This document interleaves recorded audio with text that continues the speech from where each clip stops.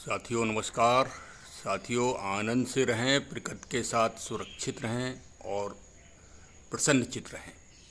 सामने आप देख रहे हैं, ये गुड़हल हैबिकस का पौधा है और काफ़ी बड़ा हो ही गया है ये, करीब 21 फीट इसकी हाइट हो गई है और देखिए, सुंदर फूल लगे हुए हैं। इसी तरह आप सभी लोग हरे भरे रहें इसी तरह खिलते रहे, फूलों की तरह, ऐसी शुभकामनाएँ हैं। आज रक्षाबंधन का पावन पर्व है। सभी को बहुत बहुत शुभकामनाएँ सभी लोग विकास करें, प्रगति के पथ पर चलें। और देखिए, हर साल की भांति इस साल भी प्रतियोगिता, रक्षा से रक्षा, प्रतियोगिता क्रम संख्या पाँच का आयोजन होने जा रहा है। और ये नर्सरी फाउंडेशन उड़ई के द्वारा आयोजित होता है। तो आप सभी लोग तैयार हो जाएँ और प्रश्न मैं पढ़ रहा हूँ। पहला प्रश्न है, श्री रामचरित मानस में पहला व आखिरी शब्द क्या है? तथा सर्वप्रथम किस देव या देवी की उपासना श्री तुलसीदास जी ने की है? पहला प्रश्न तो ये है। अब दूसरा प्रश्न नोट करें। माननीय सर्वोच्च न्यायालय में ऐसे कौन से वरिष्ठ अधिवक्ता एडवोकेट हैं, जिन्होंने भारत के सबसे पुराने विवादित मामले में कोर्ट माननीय सर्वोच्च न्यायालय में, माननीय सर्वोच्च न्यायालय में नंगे पैर खड़े होकर मुकदमे की पैरवी की उन वकील साहब का नाम व चर्चित मुकदमे की जानकारी दी गई दूसरा क्वेश्चन। तीसरा है, महान ग्रंथ श्री गीता में कुल कितने श्लोक व कितने अध्याय हैं, तथा पत्रम, पुष्पम, फलम, तोरणम, यो में भक्तिया प्रेक्षत यह शब्द किसने कहे हैं? चौथा प्रश्न है कि सबसे बड़ा बटवृक्ष, बरगद वृक्ष कहाँ पर स्थित है? तथा भारतीय मूल के किस वैज्ञानिक के नाम नेशनल पार्क है? पांचवा प्रश्न है कि पर्यावरण, जलवायु, प्रकृति की रक्षा करने के लिए भारत में किस विशेष प्रजाति के पौधों को बचाने के उद्देश्य से एक घटना घटित हुई थी, जिसमें तीन आदमियों की नृशंस हत्या हुई थी? यह घटना कहाँ पर, कब घटित हुई, तथा उन पेड़ों के नाम भी बताएँ। अब छठवां प्रश्न है कि ओलंपिक ओलंपिक खेलों में 800 ग्राम की ऐसी कौन सी वस्तु है तथा एरोडायनामिक्स शब्द का उपयोग किस खेल से संबंधित है? क्या भारत के किसी खिलाड़ी का संबंध इस खेल से है? तो उस खिलाड़ी का नाम व उनके पूज्य माता पिताजी का भी नाम बताएँ। सातवां प्रश्न। भारत में सास और बहू किन नदियों को कहा जाता है? अलखनंदा व भागीरथी नदी मिलने के बाद कौन सी नदी कहलाती है? तथा उस मिलने वाले स्थान को किस नाम से जानते हैं? सातवां क्वेश्चन भी क्लियर हो गया सब। अब आठवां पढ़िए। विश्व वन दिवस, विश्व पुस्तक दिवस किन तारीखों को मनाया जाता है? नौवा क्वेश्चन ये तो क्वेश्चन आठवां सरल है काफ़ी।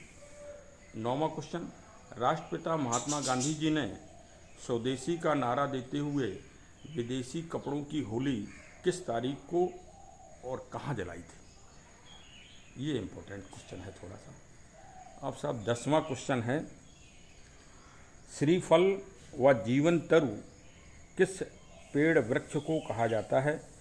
तथा सर्वव्याधि नाशक नाम से कौन सा वृक्ष जाना जाता है?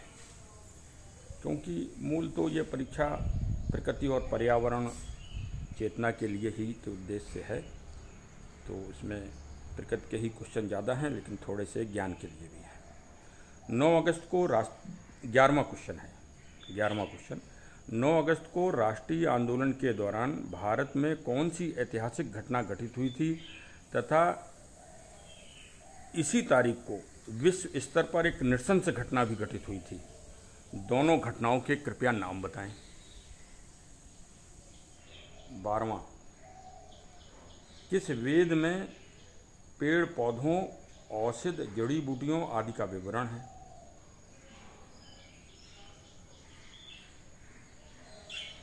अब तेरहवा क्वेश्चन, सर। तेरहवा क्वेश्चन कुछ इंपॉर्टेंट है। देख लें आप लोग। 29 अगस्त को मतलब 29 अगस्त, अभी जो आएगी 29 अगस्त, को किस प्रख्यात व्यक्ति का जन्म हुआ है, जिन्हें पूरा राष्ट्र गौरव से याद करता है। मतलब उनका जो उन्होंने कार्य किए, उसमें हम लोग उनको गौरव से याद करते हैं, बहुत गौरव से। जिनको भारत रत्न दिया जाना चाहिए, परंतु अभी तक उन्हें भारत रत्न प्राप्त नहीं हो सका है। वह किस जनपद के रहने वाले थे तथा उसी जनपद की मणिकड़का थी? मणिकड़का थी। तो क्या आपने उनके गौरव गाथा को सुना है?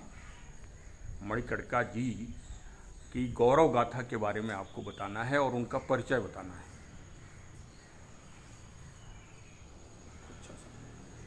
अब चौदहवा क्वेश्चन उदंत मारदंड उदंत मारतंड क्या है? तथा दुनिया का सबसे पुराना ग्रंथ यूनेस्को ने किसको माना है? चौदहवा क्वेश्चन ये हो गया सब। अब पंद्रहवा पढ़िए। चरेवेती चरेवेती शब्द कृष्ण ग्रंथ में लिखा है?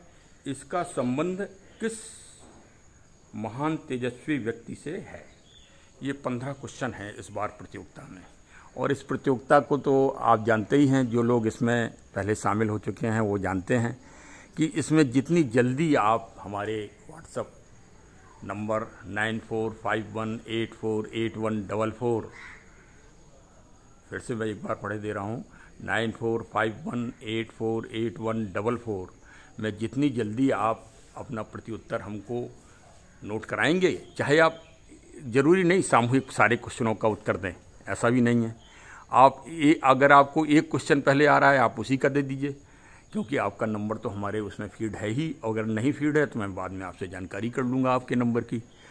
और इस तरह आप जितनी जल्दी हो सके, उतनी जल्दी इसका उत्तर दीजिए और हमारे ग्रुप का सम्मान पाइए, हमारे फाउंडेशन से सम्मान पाइए, पुरस्कार भी पाइए समय समय पे आपको मिलेगा। और इस तरह और कोई बात, उद्देश्य नहीं। इस प्रतियोगिता का यही उद्देश्य है कि प्रकृति, जलवायु और पर्यावरण का विकास हो तथा प्रदूषण के प्रति लोगों में जागरूकता की भावना हो और इसीलिए इसमें प्रकृति और ज्ञान से संबंधित प्रश्न किए गए हैं। सभी लोग पूर्ण उत्साह, चेतनता और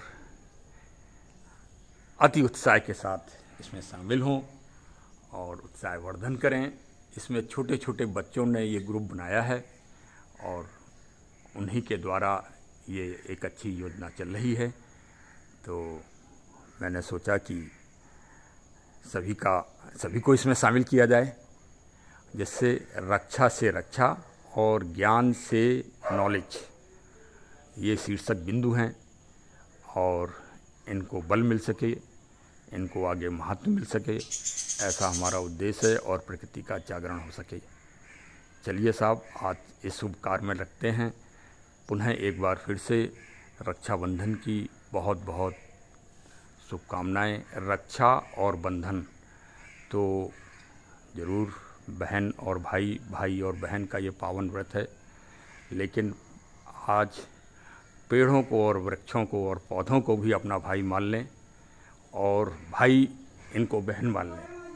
तो मेरी समझ से जो हम अपने लिए और इस दुनिया के लिए, इस समाज के लिए, आगे आने वाली पीढ़ियों के लिए बहुत ही उत्कृष्ट और सराहनीय कार्य कर सकेंगे, रचनात्मक रूप से।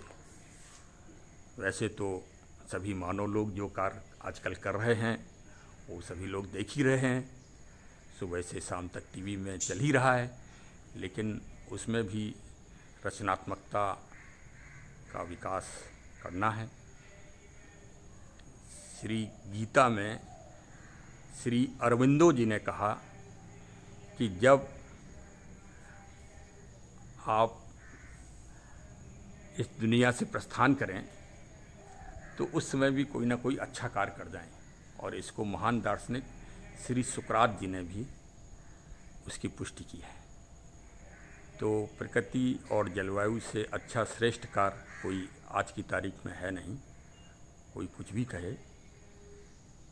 और ये समस्या बहुत बड़ी आ रही है और इसमें सबको जागरूक होना है और उसी उद्देश्य से ये प्रतियोगिता का संचालन किया गया है। इसको होते होते पाँच वर्ष हो गए हैं। सबसे पहले इस प्रतियोगिता में पाँच प्रश्न पूछे गए थे। आज उनका क्रम पंद्रह तक पहुँच गया है। और हर साल परंपरागत रूप से ये इसी दिन, इसी त्यौहार को ये परीक्षा का, प्रतियोगिता का आयोजन होता है। तो और इसका परिणाम आगे आने वाली जन्माष्टमी को भगवान श्री कृष्ण योगेश्वर जी, जिन्होंने गीता का ज्ञान दिया, उस दिन इसका परिणाम घोषित होता है। तो उस दिन तक आप सभी लोग इंतज़ार करिए, परिणाम का, और सभी लोग आनंद के साथ और उत्साहवर्धन के साथ इसमें भाग लीजिए। बहुत बहुत धन्यवाद। धन्यवाद। Thank you. Thank you.